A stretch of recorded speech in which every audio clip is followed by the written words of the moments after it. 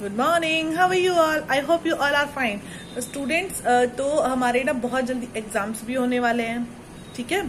बहुत जल्दी आपको शेड्यूल पता चल जाएगा, आपके पास सिलेबस जाएगा, उसके अकॉर्डिंग हम लोग चलेंगे, ठीक है? उसके अकॉर्डिंग हम लोग चलेंगे, उतना ही हम करेंगे पोर्शन जितना हमारा एग्ज़ाम में आने वाला है फ़र्स्ट टर्म के ओके ठीक है ना? तो उसके अकॉर्डिंग चलेंगे। तो अभी तक हमने राइम्स नहीं की, ठीक है? तो आज हम स्टार्ट करेंगे राइम्स से। हमारी राइम्स भी आएगी ऑरल में अंडरस्टूड तो ये देखो, ये आपकी बुक है ना आपके पास? राइम्स एंड गीत तो इसका पेज नंबर आप 15 निकालेंगे हिंदी राइम्स में। हिंदी राइम्स में आप पेज नंबर 15 निकालिए। ओके और हेडिंग देखिए क्या है? प्रणाम। हेडिंग क्या है? प्रणाम। प्रणाम का मतलब क्या होता है? किसी का वेलकम करना ना, किसी का ग्रीट करना ओके ठीक है ना? तो कोई आता है तो आप ऐसे वेलकम करते हो ना? सबका रिस्पेक्ट देते हो, कोई भी बड़ा आता है तो हम लोग उसको प्रणाम करते हैं, पैर छू के प्रणाम करते हैं, या तो हाथ जोड़ के प्रणाम करते हैं, नमस्ते करते हैं। करते हैं कि नहीं करते हैं? और आपको करना चाहिए। अगर आप नहीं करते हो तो बेटा आपको करना चाहिए, है ना? ये एक गुड बच्चे की निशानी है, कि बहुत अच्छा बच्चा है ये। अच्छी निशानी है ना? एक कि मैं, सब लोग बोलेंगे, अरे वाह ये तो बहुत अच्छा बेटा, बहुत अच्छी बेटी है। बोलेंगे ना? तो इसको आपको करना है। ठीक है, जो आज आपका टॉपिक है प्रणाम, ये उसी से रिलेटेड है। देखो देखो ये बच्चे कैसे प्रणाम कर रहे हैं। देखो, सब लोग आशीर्वाद दे रहे हैं ना, मम्मा, पापा, दादी, बाबा। ठीक है? तो ऐसे ही आप भी करोगे तो सबका आशीर्वाद आपको मिलेगा। और आशीर्वाद बहुत अच्छा मिलता है ना, उससे हम लोग बहुत आगे जाते हैं। ठीक है? तो आपको क्या करना है? आपको सबको प्रणाम करना है। जो भी आपके घर में आए, बड़ा और मम्मा, पापा हो, जितने भी आपके ग्रैंड पेरेंट्स हो, जो भी घर में हो बुआ, मौसी तो सबको आपको ऐसे प्रणाम करना है चाचा चाची को सबको प्रणाम करना है, ठीक है?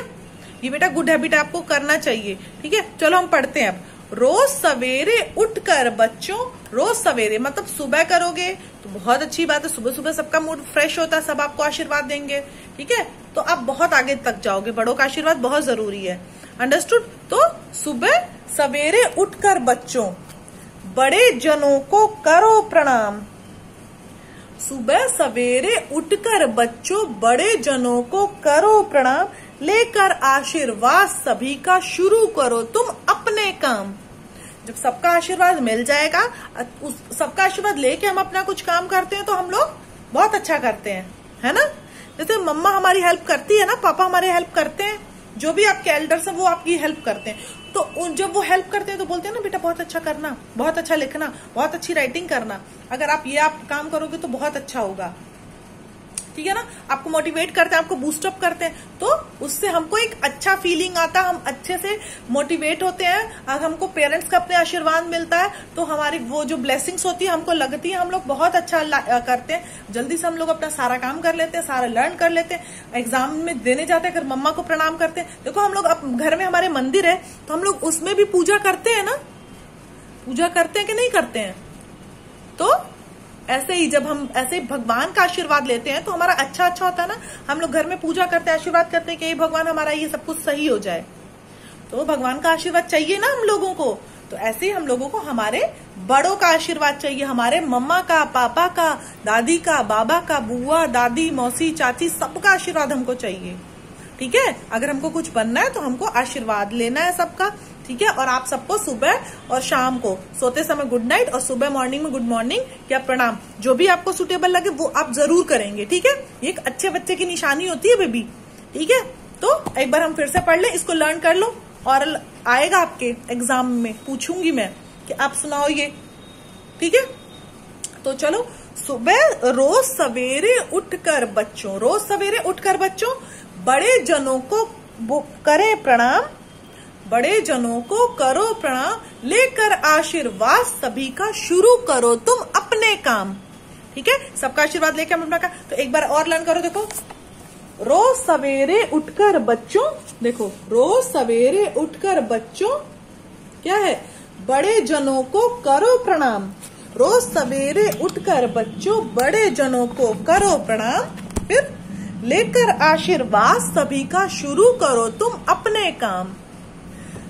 रोज सवेरे उठकर बच्चों, बड़े जनों को करो प्रणाम।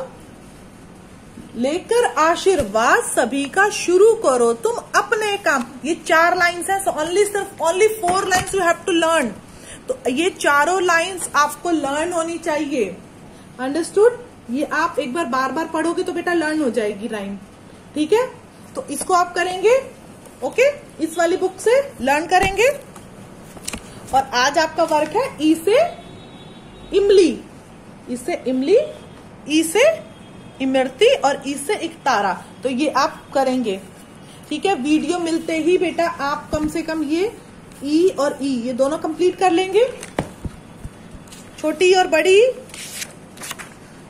ठीक है? और एक आप ये ऊ से उल्लू भी करेंगे। ओके? चलो मैं आपको दिखाऊँ, क्योंकि आपने स्वर पढ़े हुए हैं। तो एक बार मैं आपको करके दिखा देती हूँ, ठीक है? देखो, जैसे हमने ये अ पढ़ लिया है, ठीक है? आ हो गया ये, ओके? ये छोटी और ये बड़ी ई ओके? और ये उल्लू। गट माई पॉइंट ये देखो, अ, आ, ई ई, उ, ठीक है? तो ऐसे ही हमको इसमें करना है, ठीक है? ये देखो ये छोटी ही है ना तो हम इसको ऐसे बनाएँगे। सुंदर सुंदर नीट एंड क्लीन बनाना है, बेबी। आप लिखोगे तो आपकी राइटिंग और सुंदर होती जाएगी, ठीक है? इरेजर का ज़्यादा इस्तेमाल नहीं करना है। देखो, ऐसे। ये आपको छोटी ही बनानी है। उसके बाद हम बड़ी ही बनाएँगे।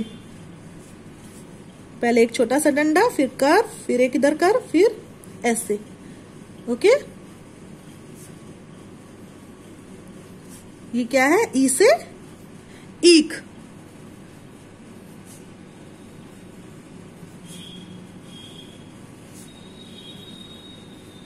ओके? तो ये दोनों पेज आप करेंगे और उल्लू बनाएँगे। उल्लू तो बहुत इजी है थ्री की तरह बनाना है हमको। देखो। देखिए।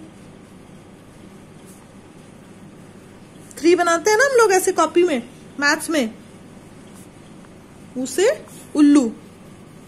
यहाँ पे डेट बेटा ज़रूर डालते रहना अपना, जो जो वर्क जैसे जैसे मिलेगा आपको तो आप डेट ज़रूर डालना कॉपी में। तो ये तीन पेज आपको करने हैं।